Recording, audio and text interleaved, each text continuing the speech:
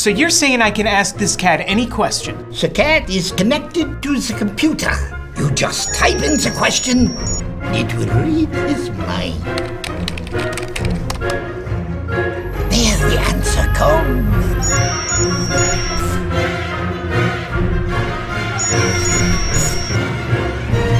You're the man! I've been looking for this for weeks. True-false test contains eight questions. And how many different ways can this test be completed? Assume we don't care about our scores.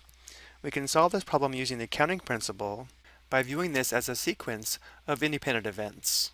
So because there are eight questions, we want to begin by viewing this as eight independent events. So let's go ahead and model this using eight horizontal bars. So one, two, three, four, five, six, seven, eight. Let's go ahead and label each of these events. Let's label them Q1 through Q8. So Q1, Q2, and so on.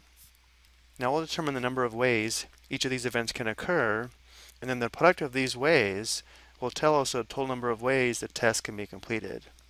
Well, each question is true-false, and therefore there's only two ways each event can occur, either true or false. So we'd have 2 times 2 times 2 times 2 times 2 and so on. So this product will tell us the total number of ways this 8 question test can be completed. Well, this is equal to 2 to the 8th which equals 256. So there are 256 different ways the test can be completed. I hope you found this helpful.